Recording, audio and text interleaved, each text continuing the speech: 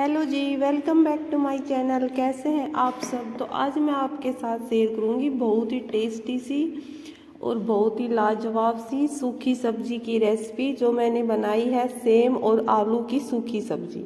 तो चलिए इसकी रेसिपी आपके साथ शेयर करते हैं। तो सबसे पहले ये लिए सेम की फली।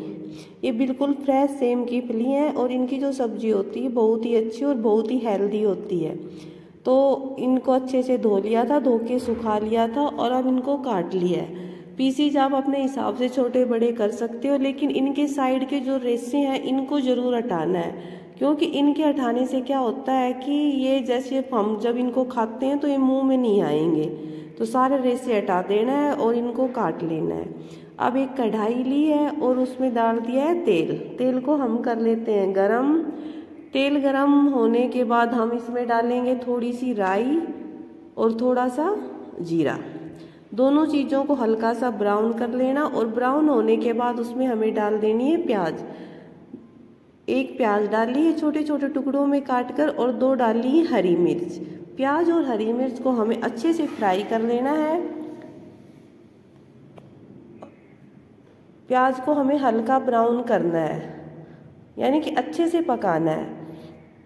जब प्याज और हरी मिर्च हमारी अच्छे से पक जाए तो फिर हमें डालना है लहसुन और अदरक का पेस्ट और उसको भी प्याज के साथ ही हमें पका लेना है। दो मैंने डाली इसमें लाल मिर्च। लाल मिर्च जो होता है, इसका फ्लेवर बहुत ही अच्छा और बहुत ही क्रिस्पी सा आता है सब्ज़ी में। अब बारी आती है टमाटर डालने की। जब प्याज हमारी अच्छे से पक जाए तो उसके बाद हमें डालना है टमाटर। टमाटर को भी छोटे छोटे टुकड़ों में काट कर डाल देना है और उसके बाद इसको भी हमें अच्छे से पकाना है। टमाटर हमारा जल्दी पक जाए। इसके लिए मैंने इसमें डाले नमक। तो नमक डालने से क्या होता है कि टमाटर जो होता है बहुत ही जल्दी पक जाता है। तो मैंने अपनी सब्ज़ी के हिसाब से नमक डाल दिया। आप भी अपने हिसाब से नमक सब्ज़ी में डाल सकते हो। अब प्याज, टमाटर को हमें अच्छे से पका लेना है जब तक कि इसका तेल सेपरेट ना हो जाए। और थोड़े से डाल दिए मैंने कड़ी पत्ता, जो सूखी सब्ज़ी होती है, आलू और सेम की, उसमें कड़ी पत्ता जो होता है, उसका फ्लेवर बहुत अच्छा आता है।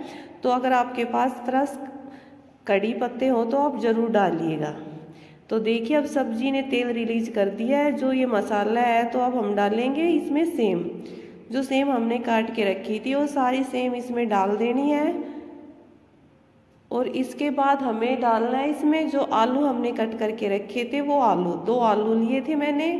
इनका भी छिलका उतार कर इनको काट लिया है। इस तरीके से आप आलू काटिएगा। आलू और सेम की सब्ज़ी देखने में भी और खाने में भी बहुत ही अच्छी लगेगी।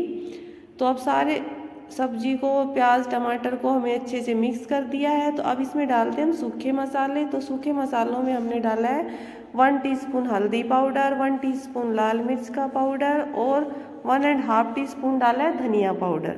सारे मसालों को सब्ज़ी के साथ अच्छे से मिलाते हुए हमें पकाना है। कम से कम दो मिनट तक तो हमें ऐसे ही मसालों को मिलाते हुए खुले में ही पकाना है। तो अब इसमें हम डालते हैं पानी। पानी हमें क्यों डालना है? क्योंकि जो आलू होता है, वो ड्राई होता है और जो ये सेम होती है, वो भी ड्राई होती है तो इनमें खुद का मॉइस्चर नहीं होता है। तो पानी डालने के बाद ये अच्छे से पक जाएँगी और तले में लगेंगी भी नहीं। अब सब्ज़ी को हमें ढक के पकाना है। कम से कम सात मिनट के बाद हमें देखना है, देखो हमारी जो सब्ज़ी है, एक बार बीस में भी चला देना है इसको। और अब हमारी सब्ज़ी देखिए, पककर बिल्कुल हो गई है तैयार। आलू और बीन्स की टेस्टी सी सब्ज़ी, बहुत ही लाजवाब सी सब्ज़ी बनी है।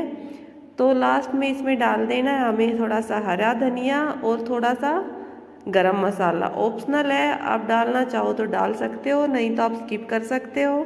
तो ये सब्ज़ी हम लंच बॉक्स के लिए बना सकते हैं। कहीं भी हम बाहर जा रहे हैं, कहीं पर भी ट्रैवलिंग कर रहे हैं, वहाँ भी हम लेकर जा सकते हैं। ये ख़राब भी नहीं होती तो अगर रेसिपी पसंद आती है तो मेरे वीडियो को लाइक कीजिए चैनल को सब्सक्राइब कीजिए। Okay bye bye thank you